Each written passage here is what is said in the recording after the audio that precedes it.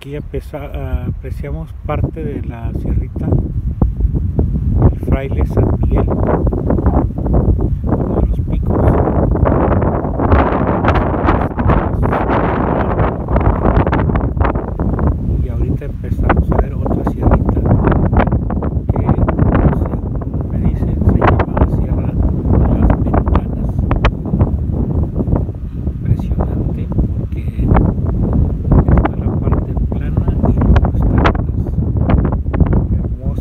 paredes rocosas.